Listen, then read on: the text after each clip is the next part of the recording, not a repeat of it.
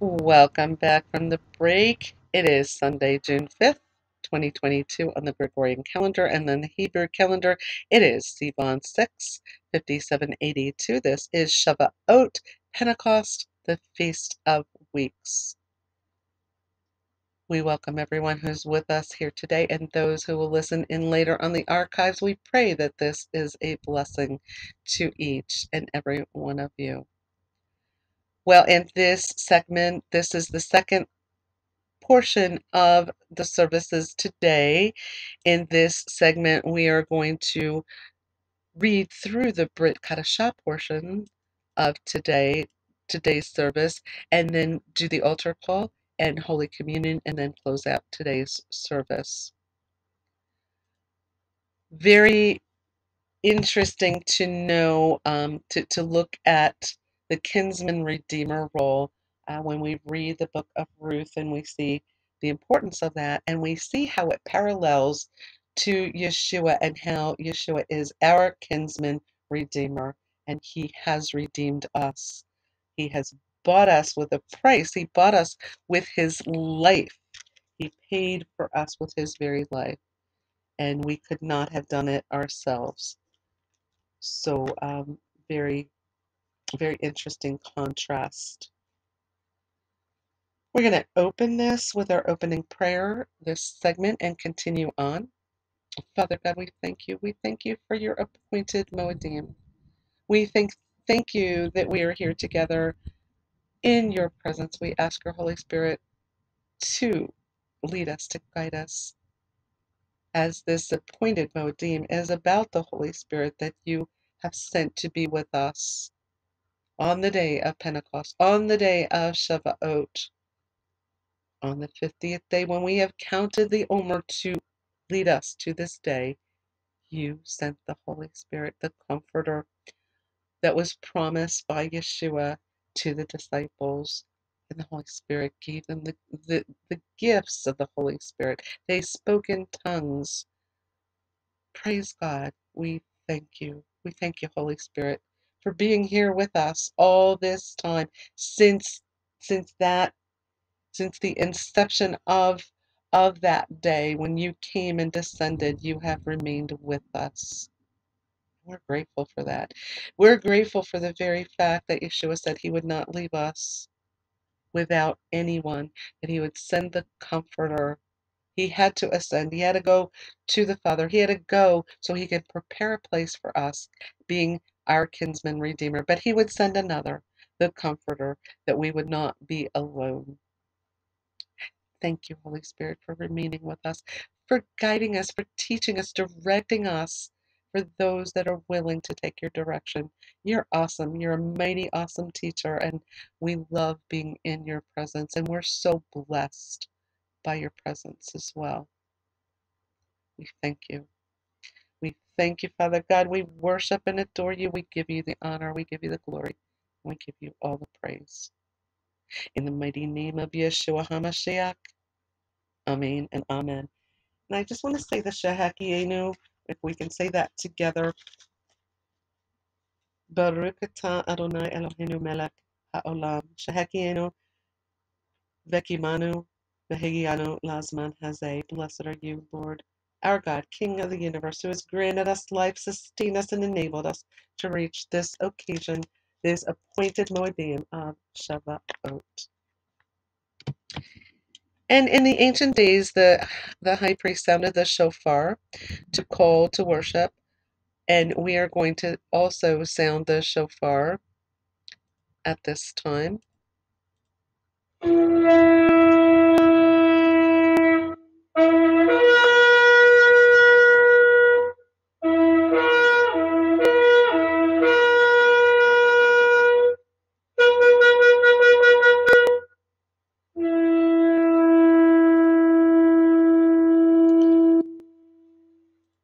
I'm going to pause it now for you to go ahead and listen to some praise and worship songs. Again, I do not upload them with this recording, but I do post uh, songs to the four social media platforms of MeWe, Gab, USA.life, and and uh, Facebook.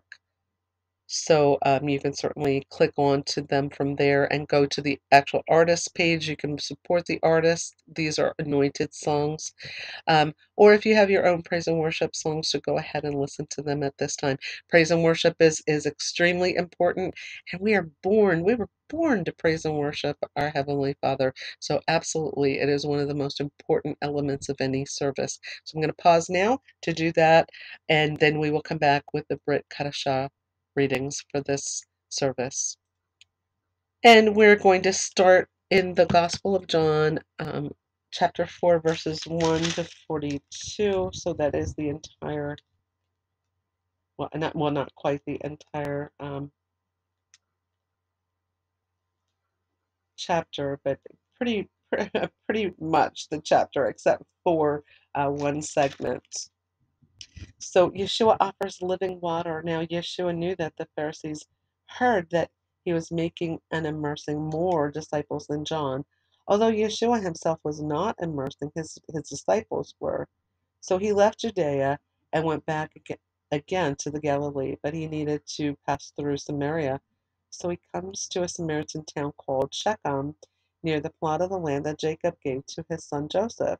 Now Jacob's well was there, so Yeshua, exhausted from the journey, was sitting by the well. It was midday. A, a Samaritan woman comes to draw water. Give me a drink, Yeshua tells her, for his disciples had gone away to the town to buy food. Then the Samaritan woman tells him, How is it that you, a Jew, ask me, a Samaritan woman, for a drink? Jewish people don't deal with Samaritans. Yeshua replied to, to her, If you knew the gift of God and who it is you were saying who is who it is saying to you give me a drink you would have asked him and he would have given you living living water. Sir the woman tells him you don't have a bucket and the well is deep. Then from where do you get this living water? You're not greater than our father jacob are you? He gave us this well. He drank out of it himself with his sons and his cattle. Yeshua replied to her everyone who drinks from this water will get thirsty again, but whoever drinks of the water that I will give him shall never be thirsty. The water that I give him will become a fountain of water within him, within him, springing up to eternal life. Sir, the woman tells him, give me this water, so I won't get thirsty or have to come all the way here to draw water. He tells her, go call your husband and then come back here. I don't have a husband, the woman replied. Yeshua tells her, You've said it right. I have no husband. For you've had five husbands, and the man you have now isn't your husband. This you've spoken truthfully. Sir, the woman tells him, I see that you are a prophet. Our fathers worshipped on this mountain, but you all say that the place where we must worship is in Jerusalem. Yeshua tells her, Woman, believe me, an hour is coming when you will worship the Father neither on this mountain nor in Jerusalem. You worship what you do not know. We, we worship what we know, for salvation is from the Jews. But an hour is coming, it is here now, when the true worshippers will worship the Father in spirit and truth, for the Father is seeking such people. As his worshippers, God is spirit, and those who worship him must worship in spirit and truth. The woman tells him, I know that Messiah is coming, he who is called the Anointed One, when he comes, he will explain everything to us. Yeshua tells her, I, the one speaking to you, I am. Ready for harvest. At this at this moment the disciples came back. They were amazed that he was speaking with a woman, yet no one said, What do you want? or Why are you speaking with her? So the woman left her water jar and went back to the town. She tells the people, Come see a man who tell, told me everything I ever did. He couldn't be the Messiah, could he? The people left the town and began coming to him. Meanwhile, the disciples were pressing him, Rabbi, eat. But he said to them, I have food to eat that you know nothing about. So the disciples were saying to each other, No one brought him food to eat, did they? Yeshua tells them, My food is to do the will of the one who sent me and to accomplish his work. Don't you say four more months and then come comes the harvest? Look, I tell you, lift up your eyes and look at the fields. They are white and ready for harvest. The reaper receives a reward and gathers fruit for eternal life, so that the sower and reaper may rejoice together. For the saying is true one sows and another reaps. I send you to reap what you haven't worked for. Others have worked hard, and you have joined in their work. Many of the Samaritans from the town put their trust in him because the word of the woman testifying, He told me everything I ever did. So when the Samaritans came to him, they kept asking him to stay with them. He stayed there two days, and many more believed because of his word. They kept telling the woman, It's no longer because of your words that we believe. We've heard for ourselves. Now we know that this really is the Savior of the world. So that is that, that those are more Gentiles actually that were were actually accepting Yeshua. Now we have Acts chapter 2, verses 1 through 47. The Ruach fills the disciples. When the day of Shavuot had come, they were all together in one place. Suddenly there came from heaven a sound like a mighty rushing wind. Now remember when we read Ezekiel, he heard that in, in, in those four those four beings. Their wings sounded like rushing winds. And it filled the whole house where they were sitting, and tongues like fire spreading out appeared to them and settled on each one of them. They were all filled with the Ruach HaKodesh and began to speak in other tongues as the Ruach enabled them to speak out. Now, Jewish people were staying in Jerusalem, devout men from every nation under heaven. Remember, this is Shavuot is a pilgrimage to Jerusalem, so they would be coming from all over the place. All the you know Jewish men from all over. And when this sound came, the crowd gathered. They were bewildered because each was hearing them speaking in, in his own language. And they were amazed and astonished, saying, All these who are speaking, aren't they Galileans? How is it that we each hear our own birth language? Parthians and Medes and Elamites and those living in Mesopotamia, Judea and Cappadocia, Pontus and Asia, Phrygia and Pamphylia, Egypt, and parts of Libya, towards Cyrene, and visitors from Rome, both Jewish people and proselytes. Cretans and Arabs, we hear them declaring in our own tongues the mighty deeds of God. And they were all amazed and perplexed, saying to each other, What does this mean? Others, poking fun, said, They are full of sweet new wine. Peter speaks to the Shavuot crowd. Peter, standing with the eleven, raised his voice and addressed them. Fellow Judeans and all who are staying in Jerusalem, let it let this be known to you and pay attention to my words. These men are not drunk, so as you suppose, for it's only the third hour of the day. But this is what was spoken about through the prophet Joel. And it shall be in the last days, says God, that I will pour out my Ruach on all flesh. Your sons and your daughters shall prophesy, your young men shall see visions, and your old men shall dream dreams, even on, on my slaves, male and female. I will pour out my Ruach in those days, and they shall prophesy. And I will give wonders in the sky above and signs on the earth beneath blood and fire and smoky vapor. The sun shall turn to darkness and the moon to blood before the great and glorious day of Adonai comes. And it shall be that everyone who calls on the name of Adonai shall be saved. Men of Israel, hear these words. Yeshua HaMashiach. Amen. Yeshua Hanatzarati, it says, from, from, from Yeshua the Nazareth, uh, a man authenticated to you by God with mighty deeds and wonders and signs God performed through him in your midst as you yourselves know, this Yeshua, given over by God's predetermined plan and foreknowledge, nailed to the cross by the hand of lawless men you, you killed. But God raised him up releasing him from the pains of death, since it was impossible for him to be held by it. For David says about him, I saw Adonai always before me, for he is at my right hand, so that I might not be shaken. Therefore my heart was glad and my, my tongue rejoiced. Moreover, my body also will live in hope, because you will not abandon my soul to Sheol, or let your Holy One see decay. There was no decay in Yeshua's body ever. You have made known to me the paths of life.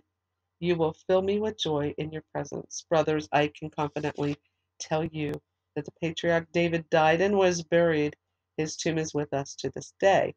So, because he was a prophet and knew God had sworn with an oath to him to seat one of his descendants on the throne, David saw beforehand and spoke of Messiah's resurrection that he will not that, that he was not abandoned to Sheol and his body did not see decay. This Yeshua God raised up, and all are witnesses. Therefore, being exalted to the right hand of God and receiving from the Father the promise of the Ruach HaKodesh, he poured out this, what you now see and hear. For David did not ascend into the heavens, yet he himself says, Adonai said to my Lord, Sit at my right hand until I make your enemies a footstool stool for your feet. Therefore, let the whole house of Israel know for certain that God has made him, this Yeshua, whom you had crucified, both Lord and Messiah.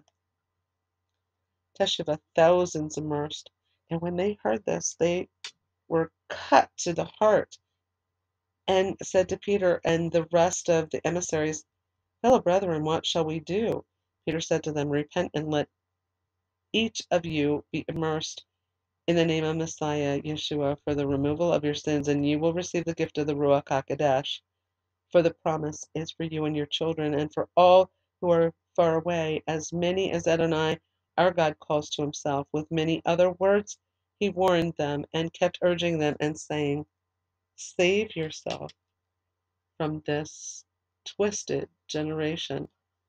So those who received his message were immersed, and that day about 3,000 souls were added. The new covenant community begins. They were devoting themselves to the teaching of the emissaries and to the fellowship, to breaking bread, and to prayers. Fear lay upon every soul, and many wonders and signs were happening through the emissaries, and all who believed were together, having everything in common. They began selling their property and possessions and sharing them with all as any had need. Day by day they continued with one mind, spending time at the temple and breaking bread from house to house. They were sharing meal with gladness and sincerity of heart, praising God and having favor with all the people. And every day the Lord was adding to their number those being saved. And next we have 1 Corinthians chapter 12 verses 1 to 31 spiritual gifts for the body. Now, concerning spiritual gifts, brothers and sisters, I do not want you to be ignorant. You know that when you were pagans, you were enticed by idols that cannot speak and got led astray. Therefore, I make known to you that no one, no one speaking by the Ruach Elohim says, Yeshua be cursed, and no one can say Yeshua is Lord except by the Ruach HaKodesh. Now, there are various kinds of gifts, but the same Ruach, and Ruach is spirit. There are various kinds of service, but the same Lord. There are various kinds of work, but the same God, who works all things in all people, but to each person is given the manifestation of the Ruach for the benefit of all. For to one is given throughout the Ruach a word of wisdom, to another a word of knowledge, according to the same Ruach, to another faith by the same Ruach, to another gift of healings by the one Ruach, to another workings of miracles, to another prophecy, to another discerning of spirits, to another different kinds of tongues, to another the interpretation of tongues. But one and the same Ruach activates all these things, distributing to each person individually as he wills. For just as the body is one and has many parts, and all the parts of the body Though many are one body, so also is Messiah, for in one Ruach we're all immersed into one body, whether Jewish or Greek, or in other words, Jew or Gentile, slave or free, and all were made to drink of one Ruach. For the body is not one part, but many. If the foot says, Since I'm not a hand, I'm not part of the body, it is therefore not part of the body.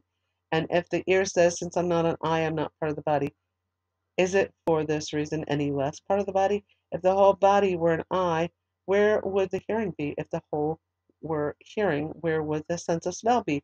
But now God has placed the parts, each one of them, in the body just as He desired. If they were all one part, where would the body be? But now there are many parts, yet one body. And that body, uh, when when we talk about, we're talking about the spiritual body, needs to work together, just as the physical body uh, needs to fully function together as one body. So does the spiritual body, the body of Messiah. The eye cannot tell the hand, I don't need you, or in turn the, the head to the feet, I don't need you. On the contrary, those parts of the body that seem to be less important are indispensable. Those parts of the body that we think to be less honorable, we clothe with greater honor, and our unpresentable parts are treated with greater modesty, but our presentable parts have no such need. Rather, God assembled the, the body, giving more honor to those who are lacking, so that there may be no division in the body, but so that the parts may have the same care for one another. If one part suffers, all the parts suffer together. If one part is honored, all the parts rejoice together. Now, you are the body of Messiah and members individually God has put into his community first emissaries, second prophets, third teachers, then miracles, and healings, helps, leadership, various kinds of tongues. All are not emissaries, are they? All are not prophets, are they? All are not teachers, are they? All do not work miracles, do they? All do not have gifts of healing, do they? All not speak in tongues, do they? All do not interpret, do they? But earnestly desire the greater gifts. And still I show you a far better way. And then in conclusion, we have one uh, one more set of verses, and that's Galatians chapter 5, verses 13 to 26. Brothers, walking by the Ruach, brothers and sisters, you were called to freedom. Only do not let your freedom become an opportunity for the flesh, but through love serve one another. For the whole Torah can be summed up in a single saying Love your neighbor as yourself. But if you bite and devour one another, watch out that you are not destroyed by one another. But I say, walk by the Ruach, and you will not carry out the desire of the flesh, for the flesh sets its desire against the Ruach, but the Ruach sets its desire against the flesh. For these are in opposition to one another, so that you cannot do what you want. But if you are led by the Ruach, if you're led by the Holy Spirit, you are not under law. Now the deeds of the flesh are clear sexual immorality, impurity, indecency, idolatry, witchcraft, hostility, strife, jealous, jealousy, rage, selfish ambition, dissension, factions, envy, drunkenness, carousing, and things like these. I'm warning you, just as I warned you before, that those who do such things will not inherit inherit God's kingdom. But the fruit of the Ruach is love, joy, peace, patience, kindness, goodness, faithfulness, gentleness, and self control. Against such things there is no law. Now, those who belong to Messiah have crucified the flesh with its passion, passions and desires. If we live by the Ruach, let us also walk by the Ruach.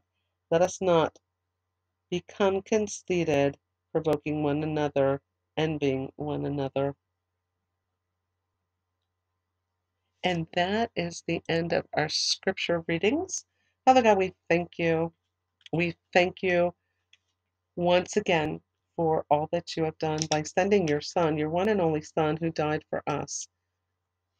But it didn't end there. He died, he he defeated death, hell, and the grave. He defeated the evil one, and then he ascended to you, and he sent the Holy Spirit to us to to be with us until he can return again. There was so much that happened, and we thank you so much. We thank you for your guidance.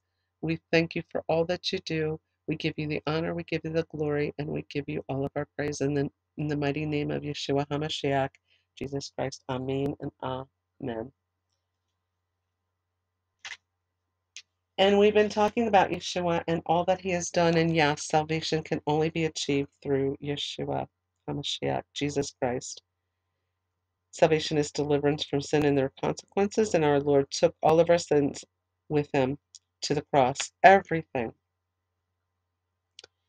And this is so the world could be redeemed of sin forever and reconciled to the Father. There there had to be redemption. There it could not be any other way. Before Yeshua came, uh, there was a sacrificial system that was in place that God allowed uh, blemish-free, uh, perfect animals to be sacrificed, and most of them were little little lambs that were sacrificed for the sins of the people. When Yeshua did it, he did it once and for all. Okay. He also took a beating from the Roman soldiers, and and one of those stripes was for our healing and affliction. So yes, we could say by his wounds we are healed. Romans chapter 3, verse 23 says, For all have sinned and come short of the glory of God. Romans chapter 5, verse 8 said, But God commanded his love toward us in that while we were yet sinners, Yeshua died for us. He died for all of the sins, past, present, and future, after he had ascended, and uh, for centuries, the, the sins of centuries up until the present time and beyond.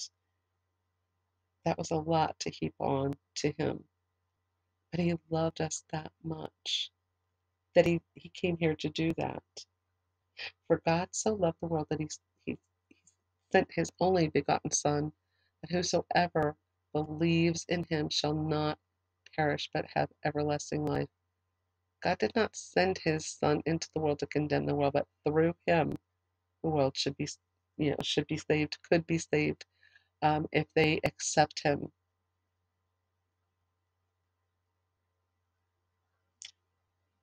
It is a choice that you make. It is a free will choice. God does not force himself on you. Um, so this is a choice that you will make to accept Yeshua as your Lord and Savior or not. There are consequences, and you know He is the way, the truth, and the life. You will not get to heaven by your own means.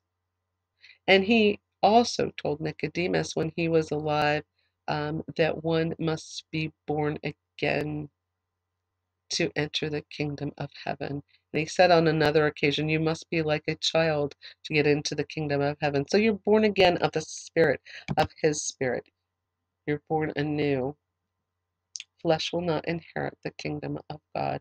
That is where the corruption began in the Garden of Eden.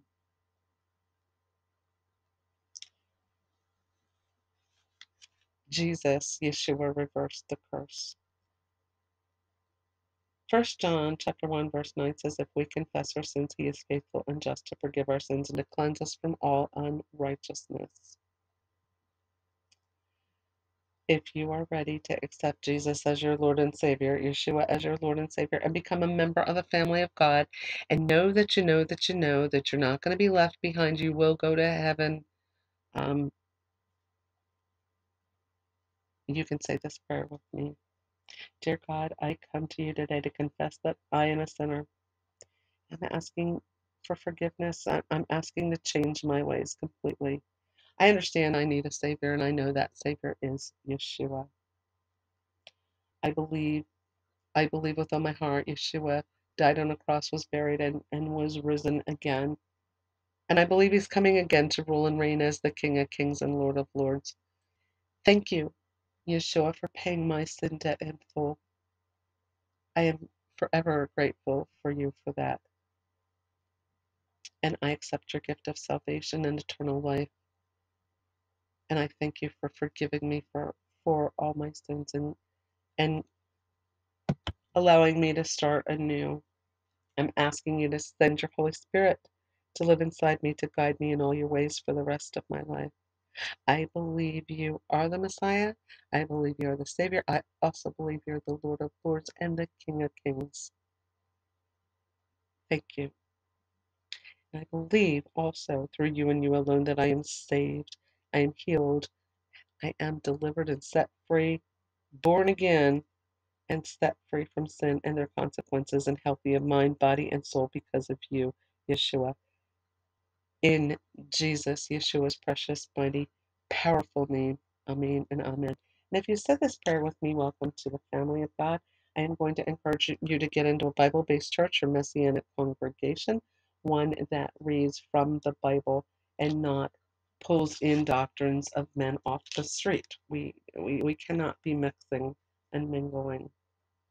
I'm going to encourage you to also get a copy of the Bible so that you can read and you can discern what is truth and and that what you're being preached to either on Saturday or Sunday is full fully doctrinal, it is fully sound and it is it, it lines up with the Bible. I'm going to encourage you to get into a Bible study and also um, to develop a, a prayer life and, and, and start talking to your Heavenly Father. You are now born into the family of God. You have a huge family all over the world, and your estate is now, you know, the kingdom of God. We are passing through this world. We are in this world, but not of it. We're now a new creation in in Yeshua, in Jesus Christ. Know who you know. Know know who you are in Him. You have been made righteous through, only through Him, not through anything that you could have done. And we're all equal in that aspect. So I'm going to open this up um, now to our Holy Communion time. And Yeshua instituted um, Holy Communion on the eve of Passover. That was the night before he, was betrayed. On the night that he was betrayed, actually, um, early in the uh, in an upper room with his disciples, and he asks us to do this in remembrance of him, and this is exactly what we're doing. But we need to come to the table of the Lord. Um, it was it was not a small price that Yeshua gave; it was everything, his life. So we need to take this seriously. So there is a preparation. We need to have our heart right um, before we partake of the Lord's Supper in remembrance of what He did for us and how important this is.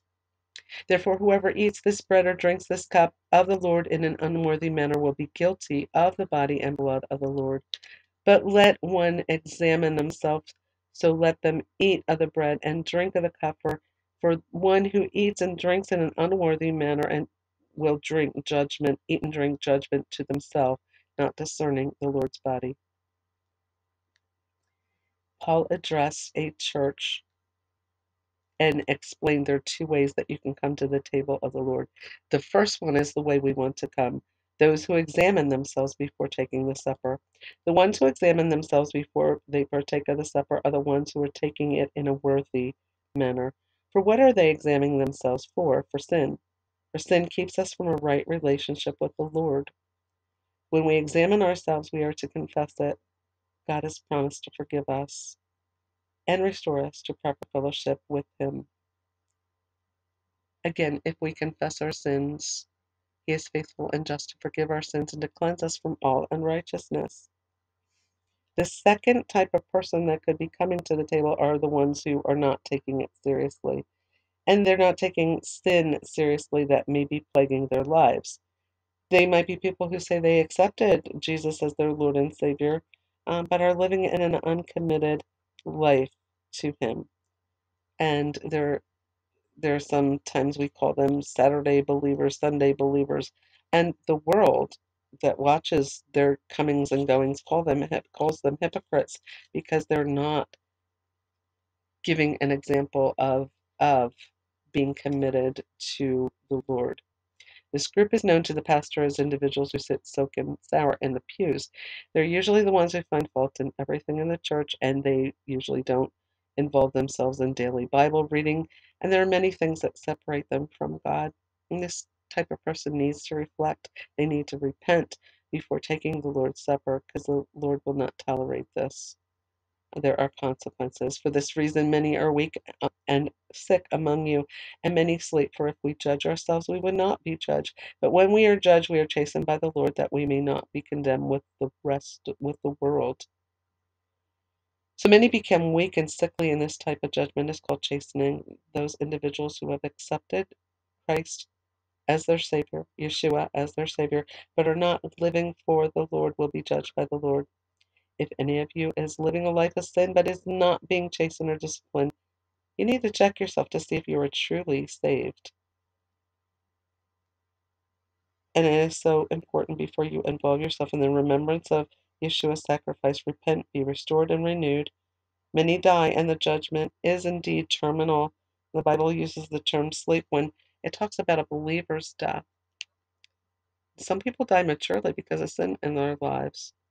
So we need to cut it at its root, sin at its root, and don't let it get full grown because it, because it will bring forth death.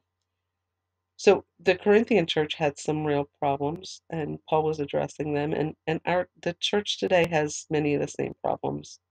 There's nothing new under the sun, as uh, Solomon said, and history does seem to re- unfortunately repeat itself in in some ways.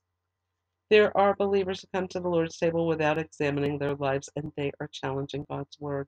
They will lose. God is going to deal with all of this. And if you are here today and have not been examining your life for sin, I would challenge you today to examine your relationship with the Lord. Are you in fellowship with Him? Are you keeping short accounts with Him? If there is sin in your life, are you willing to confess it, turn from it, and follow the Lord more, more closely? Only you can make that decision. The Lord's Supper can be an experience of worship and worthiness, a time of repentance and remembrance, or it can be a time of disobedience which will result in God's ultimate discipline. So let's spend some time in prayer and self examination before we partake in the Lord's Supper. Now, when I pause for you to get the elements, um, I'm going to ask that each of you pray before the Lord individually and, and confess any sin, known or un, unknown, and so that when you come back with the with the elements, that you're coming back with a clean heart and ready to receive.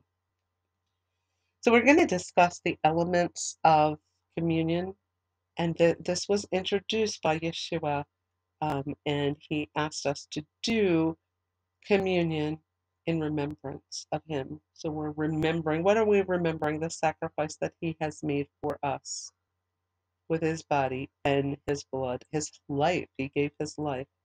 So the bread was to is to represent the body of Yeshua that died on the cross for our sins. It is a representation. It, this is a symbol and how we're remembering because he asked us to do it in this manner. Yeshua suffered many abuses on his way to the cross, and his body was in rough shape on the cross. He gave his all for us. He suffered so much on the cross for us. Now, if you don't have matzah, that's okay. You can, you know, the Lord knows your heart, and yes, it's a symbol. Um, so if all you have is a cracker or even even a piece of bread, that is okay. The cup, and this is what we're representing um, Yeshua's the, the blood of Yeshua that he shed on the cross for our sins. The Bible says that without the shedding of blood there is no forgiveness of sin. And Yeshua had to shed his blood for us. The animal sacrifices of the Old Testament looked ahead to when Yeshua would be on that cross and would be shedding his blood for the sins of the world. This sacrifice was the final one needed to save the world. His blood was enough for all those who accept him as their personal Savior. Paul tells us that celebrating with these elements reminds the church of Yeshua's sacrifice. And so often we complain about things and um, about small sacrifices, and we need to remember what Yeshua did for us. That was no small thing, and that was pure love. Amen. Amen. Now, also, I want to read Psalm 51 for you. when you're praying, you need to think about Psalm 51 uh, because David did it so, so contritely and so with with with so much emotion. He loved God with all his heart. But there was a dark time in David's life that he sinned against God. He committed adultery um, with Bathsheba. She was married to one of his loyal soldiers, and um, not only did he commit adultery, now he did she did get pregnant, uh, and he tried to cover that pregnancy up. And when he couldn't cover it up, then he made sure that Bathsheba's husband Uriah the Hittite would, would be set into the front lines where he would be killed in battle. So he could then marry Bathsheba, and and uh, everybody would would think that uh, you know he there was there was no unfaithfulness, but he did commit adultery, and God knew it, and he sent Nathan the prophet to confront him. And when he was confronted, he was he was brokenhearted, um, and he knew that you know yes he could he could give any kind of offering, but the Lord was not willing to accept those offerings. He wanted he wanted David to ask for forgiveness, to be contrite, to really to really mean what he was asking. Uh, to create in him a clean heart and renew a right spirit, that he would not go out and do this again. And so, this is an example of of someone who was in had always been in right standing with God, who totally slipped and really needed to repent. Create in me a clean heart, O God. To the choir master of Psalm of David, when Nathan the prophet went, went to him after he had gone in to Bathsheba, Have mercy on me, God, according to your steadfast love, according to your abundant mercy. Blot out my transgressions, wash me thoroughly from my iniquity, and cleanse me from my sin. For I know my transgression, and my sin is ever before me. Against you only have I sinned and done what is evil in your sight, so that you may be justified in, in your words and blameless in your judgment. Behold, I was brought forth in iniquity, and in sin did my mother conceive me. Behold, you delight in truth in the inward being, and you teach me wisdom in the secret heart. Purge me with hyssop, and I shall be clean. Wash me, and I shall be whiter than snow. Let me hear the joy and gladness. Let me let the bones that you have broken rejoice. Hide your face from my sins and blot out all my iniquities. Create in me a clean heart, O God, and renew a right spirit within me. Cast me not away from your presence, and take not your Holy Spirit from me. Restore to me the joy of your salvation, and uphold me with a willing spirit. Then I will teach transgressors your ways, and sinners will return to you. Deliver me from blood guiltiness, O God. O God of my salvation, my tongue will say aloud of sing aloud of your righteousness. O Lord, open my lips and put my mouth and my mouth will declare your praise, for you will not delight in sacrifice, or I would give it. You will not be pleased with the burnt offering. The sacrifices of God are a broken spirit, a broken and contrite heart. O God, you will not despise. Do good to Zion in your good pleasure. Build up the walls of Jerusalem. Then will then will you delight in right sacrifices and burnt offerings and whole burnt offerings. Then bulls will be offered on your altar. So I'm going to pause it now for you to go ahead and, and gather the elements for communion and also to, to pray to the Lord um, your individual prayer for forgiveness and um, to make sure that your heart is right as we, we uh, are moving into taking communion. So I'm going to pause it now. Okay. Will you bow your heads in prayer with me now as we are, are here to take communion? Father, we come to this table. We, we come as your guests. And we rest only in the worthiness of your Son. We're not here because of anything that we have done. We are here because of what Yeshua has done. And as we look upon the emblems of our Savior's death, may we remember exactly why he died. because of each and every one of us, to cleanse and to heal, to satisfy your righteousness and justice. We remember his eternal love and boundless grace. May we receive the assurance of forgiveness, eternal life, and the hope of glory. As the bread and cup nourish our body, so may your indwelling Holy Spirit strengthen our soul until the day of Yeshua's appearing when we will hunger and thirst no more and sit with him at his heavenly table. Thank you, Yeshua, for all that you have done to redeem us. You gave everything, including your very life, and we thank you for this and are very grateful. In the mighty name of Yeshua HaMashiach, Jesus Christ, Amen and Amen. Say with me now the Lord's Prayer. Our Father in heaven, hallowed be your name. Your kingdom come, your will be done on earth as it is in heaven. Give us this day our daily bread, and forgive us our debts as we forgive our debtors. And do not lead us into temptation, but deliver us from the evil one. For yours is the kingdom and the power and the glory forever. Amen. Take that piece of bread or cracker or matzah. The Lord Jesus, Yeshua, on the same night in which he was betrayed, took bread, and when he gave thanks, he broke it and said, Take, eat. This is my body, which is broken for you. Do this in remembrance of me. And remember, the bread is a symbol. We're doing this in remembrance of him. The, to remember the body of our Lord Jesus Christ, Yeshua HaMashiach, which was given for us. Take and eat. Now take the cup in your hand as well. In the same manner, he took the cup after supper, saying, This cup is the new covenant in my blood. This often as you drink it in remembrance of me. Again, this is a symbol of the blood of our Lord Jesus Christ, Yeshua HaMashiach, through which we have the forgiveness of sins. Take and drink. Let us pray. Father God, we thank you. We thank you so much. You sent your only son into this world to die a horrific death, and it was from it, it, it was from love that he gave his life. He loved each and every one of us, past, present, and future. And so do you, Father God.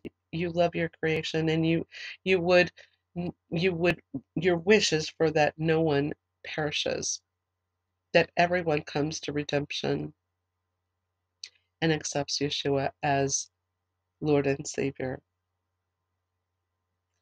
Father God, you're an amazing, you're an awesome God, and we love you, we worship you, and we adore you. In the mighty name of Yeshua HaMashiach, whom we owe everything to. Our life belongs to you, Yeshua. You saved us, you redeemed us, you bought us with a price, and that was your life. And we belong to you, Yeshua. We love you. We thank you. And you are the King of Kings. You are the Lord of Lords forever and always. Amen. In your mighty name, in Jesus, Yeshua's mighty name. Amen. May you walk in the light as he is in the light, and may you have fellowship with one another. For the blood of Yeshua HaMashiach, his son, cleanses us from all sin. And now may the grace of the Lord Jesus Christ, Yeshua HaMashiach, and the love of God and the communion of the Ruach HaKodesh be with you all. Amen. Shavuot, to remember, um, remember the Torah was given at Mount Sinai.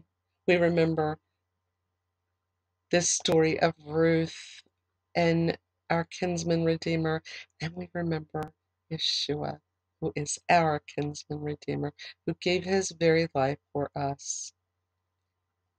And then, not only that, he didn't stop there, he made a promise, and that promise was fulfilled on Shavuot when the Ruach HaKodesh descended on the disciples and is still with us today.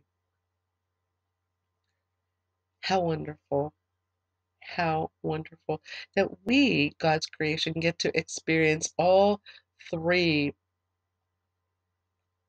persons of the Godhead Father God, Yeshua, and the Ruach HaKodesh. Amen. Amen. The Aaronic blessing or the priestly blessing, we're going to find that in Numbers chapter 6, verses 22 to 27. The Lord spoke to Moses, telling Moses to speak to Aaron and his sons. He gave specific words to bless the children of Israel, and he wanted his name placed on them. And we'll say the blessing in Hebrew and also English. I just want to mention um, if you said that prayer earlier um, and became a member of the family of God, you are part of this blessing. And anyone who has been saved and born again before, you are a member of the family of God. This blessing is for you because once you are saved and born again, Adonai puts his name on you and seals you with his Holy Spirit. You are his and he loves to bless his children. So in Hebrew it goes like this: Ivarakaka Adonai ve'ishmareka, Ya'eh Adonai panavaleka v'kuneka, Isa Adonai panavaleka ve'asemleka shalom. May the Lord bless you and keep you. May the Lord make his face to shine upon you and be gracious to you. May the Lord lift up his countenance upon you and give you peace. Shalom. Amen and amen. And it is the beginning of the week, uh, the very first day of the week. So I am going to say once again, Shavua Tov. Have a good week. God bless each and every one of you. We will have the Bible study this week. Just as a reminder, what, what else is coming up this week? Uh, we meet live in real time Tuesday evening, 7 p.m. on our freeconferencecall.com channel. Please come join us. We would love to have you. And also, we will have the Bible study. We're going to be finishing the book of Judges this week. God bless each and every one of you.